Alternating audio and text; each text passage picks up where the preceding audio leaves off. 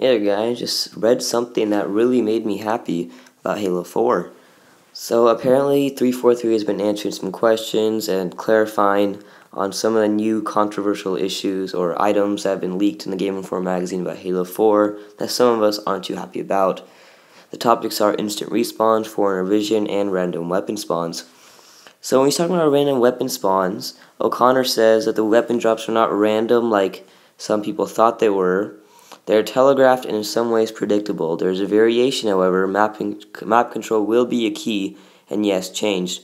Custom games will be heavily customizable, initial playlists will be clean and focused. Players will not be represented with stacks of lists, but there will be a variety of different tastes. So basically, I think what that means is that they won't just randomly spawn around the map. It'll be like somewhat of like a teamwork type of thing where like you find out where like it's going to drop and everyone goes over there to fight instead of just walking around on maps, picking up weapons. It's not gonna be random. It's gonna it's still gonna keep the skill and knowing of the maps to get to these weapons faster. So then he talks about Forerunner Vision and it's initially an armor ability that lets you see through walls that said on the Game Informer article. And Frank O'Connor didn't really say how it really worked out, but he did say he did rule out a couple ways that it could work. So it's not like the UAV in Call of Duty. It's he says, I imagine a competitive player with good situation awareness would try it once and eschew it for something else. So what I th- and he also writes, you cannot use Forerunner Vision to see players anywhere on the map. Absolutely not. So O'Connor basically just ruled that out, ruled out a lot of what we've been thinking.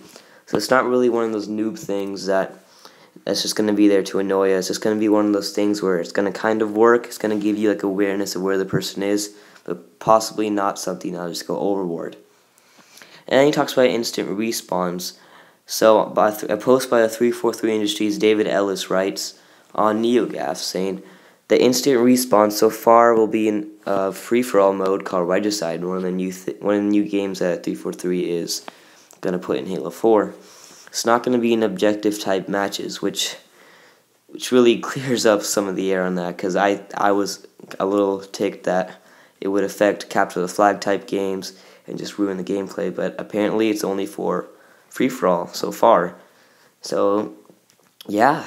So these 343 just cleared up some of the information, and it's good news for me, I guess, because I wasn't very happy with some of the old stuff, but still more to hear about Spartan Ops and um, and Spartan points and that kind of stuff. But so far, I'm I'm liking this. Alright guys, thanks for watching and I'll see you later.